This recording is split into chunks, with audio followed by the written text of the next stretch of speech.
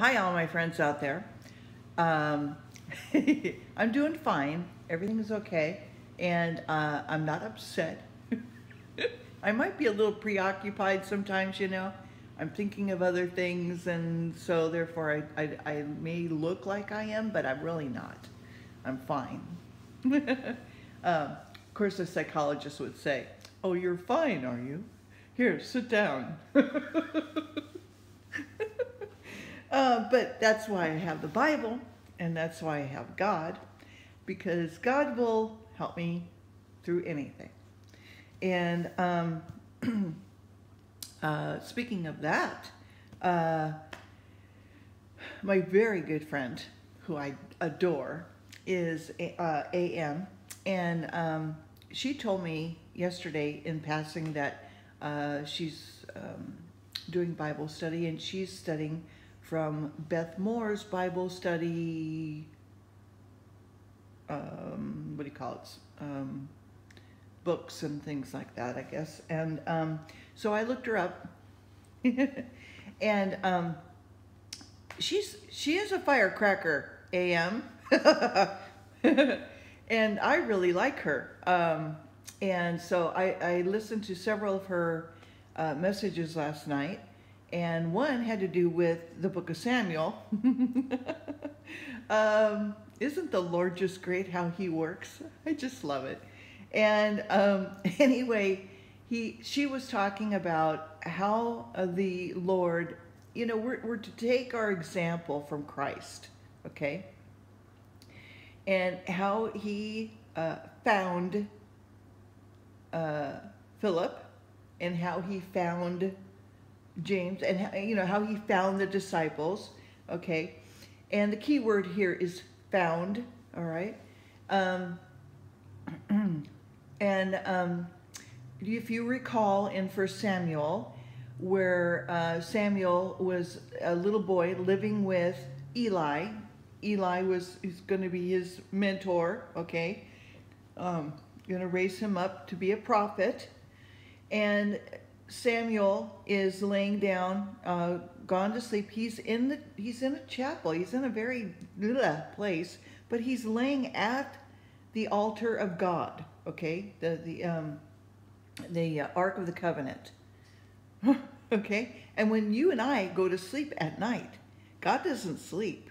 She's she's saying. Okay, He's watching us, and we are laying down at the altar of God. I thought that was great. I, this is brilliant. Um, and uh, uh, yeah, so you know the story as Samuel hears his name and he runs up, goes to Eli, and says, "You you called me, Master? You called me?" And he's in the first time he's Eli says, "No, I didn't call you. Go back to bed." And then he hears it again. He runs in and he says, "You called me, Master?" And he says, no, son, I didn't call you. And he calls him son. He's being very, uh, you know, lo loving and endearing. And he calls him son. No, son, I didn't call you. Go back to bed. And uh, a third time he runs in, you know, Master, you, I, you called me. I heard you call me. He goes, oh, the Lord called you. Go back to bed. And when he calls you again, say, uh, yes, ma, ma uh, I am. I'm here, Master. You're. Uh, uh, uh, uh, uh, here am I, your servant. Okay, I'm here, and um, and then sure enough, the Lord says to His name twice. Okay, so even though I'm reading the the Bible to you, every word counts. Okay. G Jesus God knew you before you were born. He called you. He found you. Okay? Then you found him. You discovered him.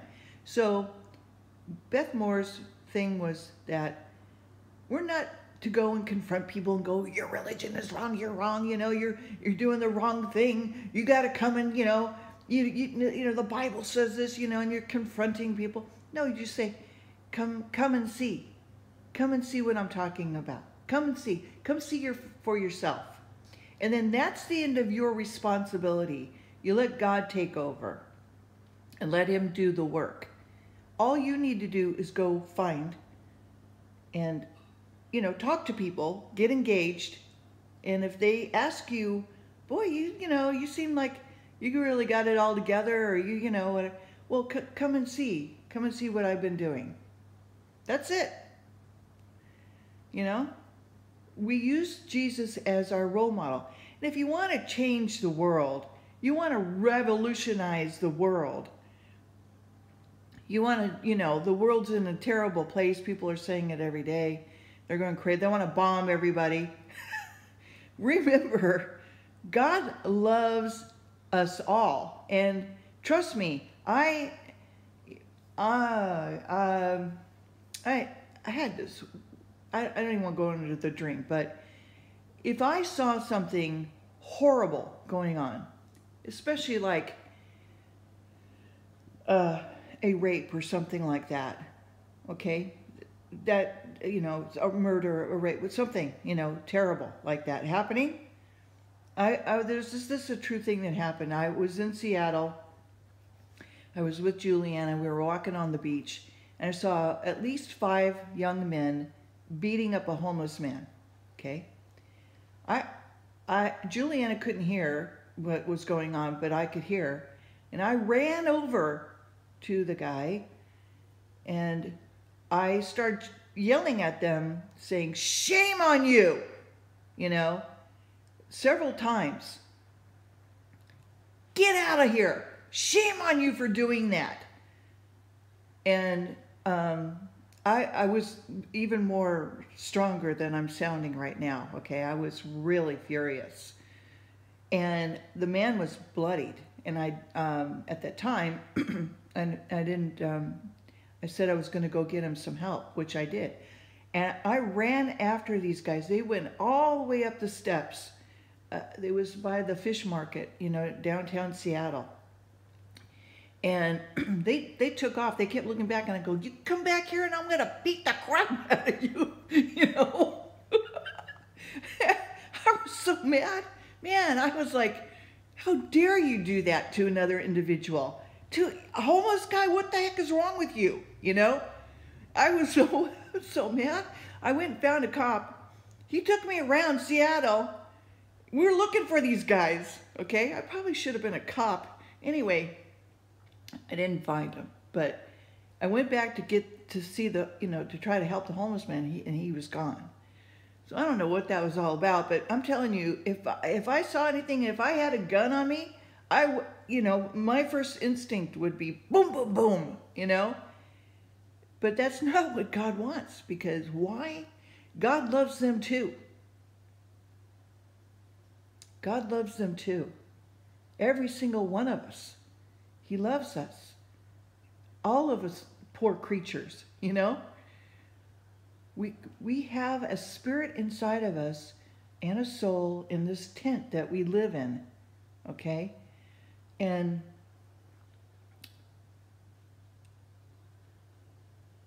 we are made in the image of God. And he wants to have a personal relationship with us. He made the angels a little lower than us, okay? Even though they have all these wonderful um, uh, attributes and, and gifts and things that we can't do, he, um, or he made us a little lower than the angels. Or yeah okay. And so but you know they're they if god said to them love me they would say yes lord we love you. You know?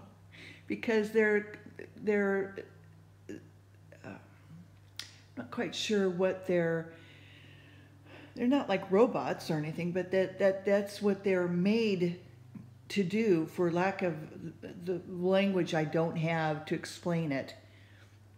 So that's why he gave us free will, okay? we can choose to love him or we can choose not to. We can choose to acknowledge him or we can choose not to. Or we can choose to go even the worst opposite and worship Satan and the angels who decided to just leave their realm, their heavenly realm, and do whatever they wanted to do. But God uses it for his glory, okay? And so with us, he wants to have a personal relationship, a give and take. He makes a move, we make a move, you know, and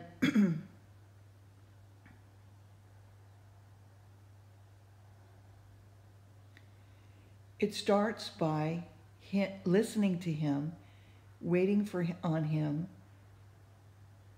read, reading your Bible, getting to know him personally, who he is.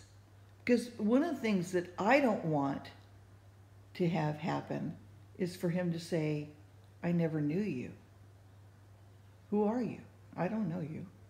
You know? Oh, that would be crushing. I mean, I, I that would be horrible. That's like the worst thing. I don't want to hear that. You know? So I each day try to get to know who he is. And I am constantly waiting and listening for him to speak to me. And sometimes he does, sometimes not. Um, because I haven't made a move yet or something. you know, I'm still figuring it out, okay? I'm with you guys, okay? I'm still working on it as well. And I'm not going to have time to really finish this chapter, but I, I want to at least get started on it, okay?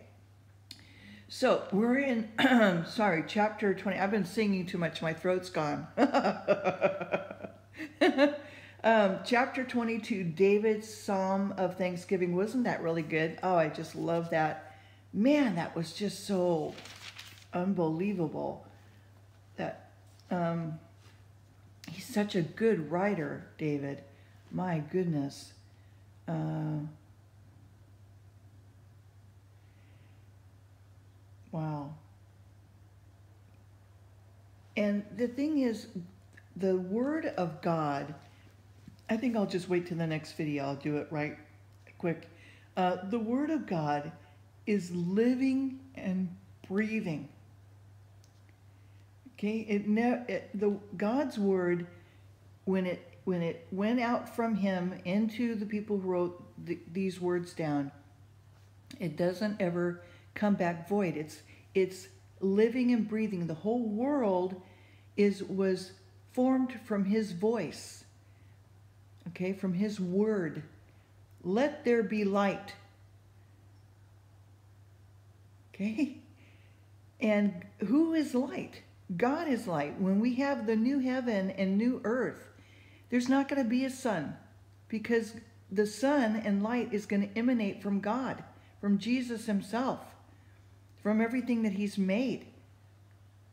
When you listen to near-death uh, experiences, they say even that light comes up through the grass and light comes through everything.